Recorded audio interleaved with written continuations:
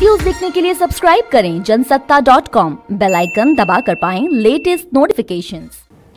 कि अगर मैं विस्तार से ये बात करूँ तो हम लोगों ने मैं आज कोई दावा अध्यक्ष महोदय नहीं करने वाला और मेरी आदत है कि मैं मर्यादा पार्टी का प्रवक्ता भी हूँ मैं लेकिन कभी मैं मर्यादा नहीं तोड़ता और कोई ऐसी बात नहीं कहता जो किसी के दिल पे लगे। लेकिन मैं आज ये दावा नहीं करूँगा कि इधर से आलू डालोगे, उधर से सोना निकलेगा। ये दावा मैं नहीं करने वाला हूँ। ये ये मैं इतना आपको उम्मीद दिखाता हूँ कि बिहार के लोगों में टैलेंट है, बिहार के लोगों में दम है, बिहार के लोगों से अपेक्षा है। अगर देश तब तरक्की करेगा, जब बिहार तरक्की करेगा। जब तक बिहार तरक्की नहीं करेगा, ये देश विकासशील राष्ट्र है, लेकिन विकसित राष्ट्र तब बनेगा जब बिहार तरक्की करेगा।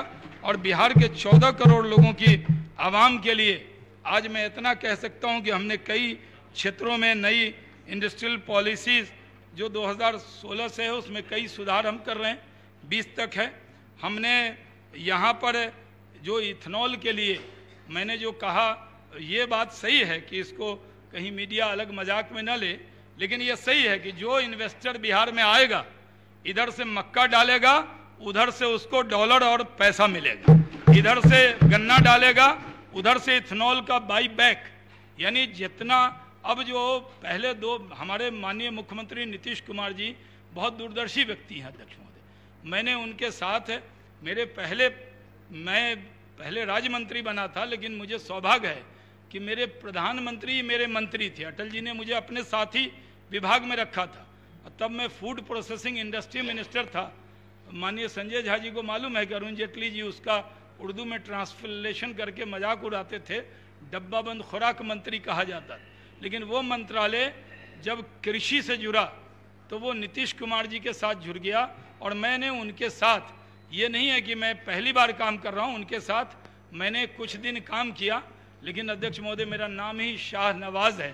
तो मैं जैसे नीतीश कुमार जी के साथ विभाग से जुड़ा तो उनको तुरंत ईश्वर ने मुख्यमंत्री का पद दिया और वो बिहार के माननीय मुख्यमंत्री बने। तो वो मुख्यमंत्री बने लेकिन फिर जब वो केंद्र में लौटे तो मैंने उनसे बहुत कुछ सीखा क्योंकि बिहार के बहुत वरिष्ठ लोग केंद्र में मंत्री थे जॉर्ज साहब थे शरद जी थे नीतीश जी थे तो नीतीश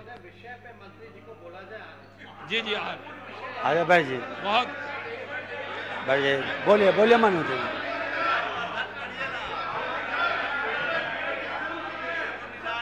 एकदम आ रहा हूँ। अध्यक्ष महोदय। बैठ जाइए बैठ जाइए आप।